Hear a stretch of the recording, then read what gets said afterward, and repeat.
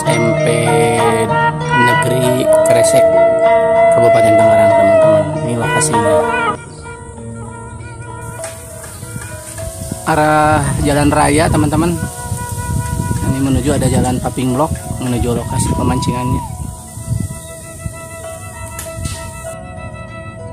Pintu masuk di samping irigasi jadi stok air untuk kolamnya bisa dijamin.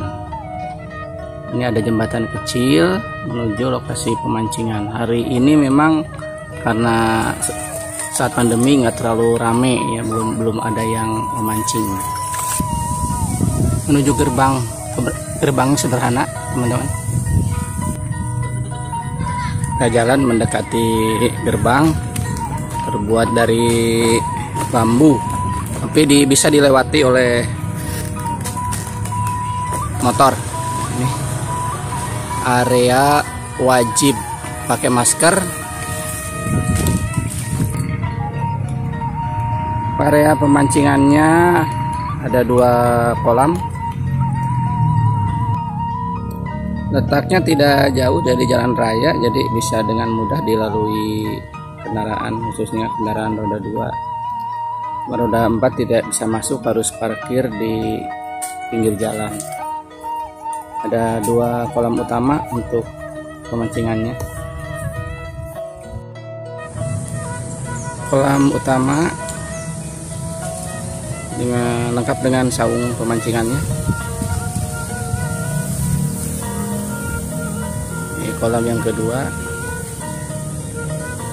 Tampak juga ada bangunan ya gubuknya lah untuk istirahat dan lengkap dengan sound system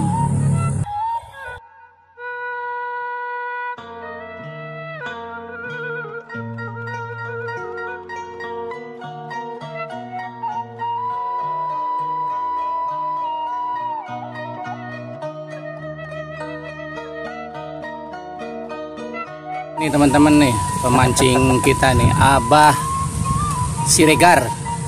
Ya, kemot Siregar. Kemot Abah Kemot Siregar ini tapi Siregarnya bukan dari Medan bukan. Naon si kata nana teh, Bah? Sisa remaja Garut. Sisa remaja Garut nih lagi mancing coba lempar joran. Nah, informasi di sini ikannya ikan bawal, teman-teman ikan bawal nih coba dengan pakai umpan apa tadi Indah? Cacing sama jangkrik. Cacing sama jangkrik. Nah kini ini lagi coba dijajal apakah nanti ada strike. Nah kita lihat aja nih. Kolamnya sepertinya kolamnya tenang banget seperti nggak ada ikannya. Tapi kata pemiliknya Abah Kabayan ini ikan predator di sini teman-teman.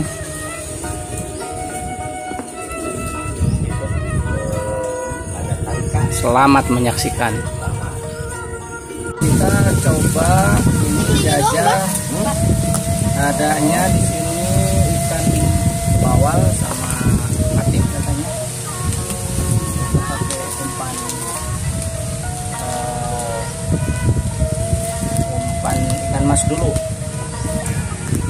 Coba mungkin ada yang nyasar ke sini oh, lempar. Terus Patin tadi. satu ya pegatnya kamari ke di ukuran Nah, ini ayam kan ukuran ya. Dua panci kita tunggu sangkut apa enggak ya